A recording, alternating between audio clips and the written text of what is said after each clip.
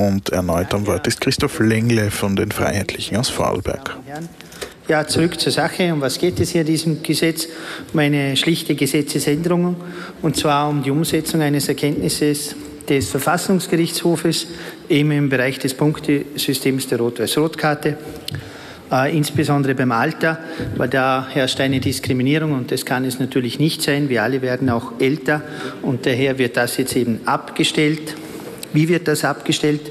Es gibt hier eine Veränderung im Punktesystem in der sogenannten Anlage C. Dort wird eben Sprachkompetenz und Berufserfahrung mittels Punkten höher bewertet und eben das Alter wird deutlich weniger gewichtet. Somit wird diese Ungerechtigkeit hintangestellt und um das geht es hier in dieser Gesetzesänderung und um nicht mehr, um was hier alles hineininterpretiert wurde, hat nichts mit dieser Gesetzesänderung und eigentlich auch nichts mit diesem Tagesordnungspunkt zu tun.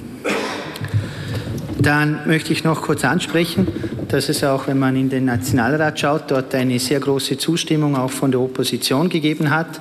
Dort haben nämlich auch die Neos und auch die Jetzt-Partei dieser Gesetzesänderung zugestimmt. Die einzigen, die da dagegen waren, waren die Kollegen der Sozialdemokratie.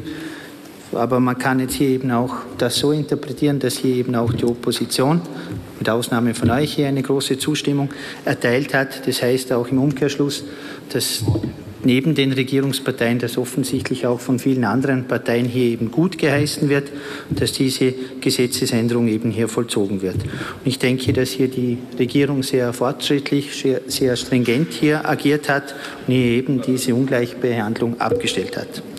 Ja, wir werden selbstverständlich hier auch gerne unsere Zustimmung erteilen und sagen und betonen hier auch nochmal deutlich, dass diese Regierung in allen Bereichen sehr fortschrittlich und gut agiert und eben auch hier in diesem konkreten Fall eine schlechte Stellung abgestellt hat. Danke.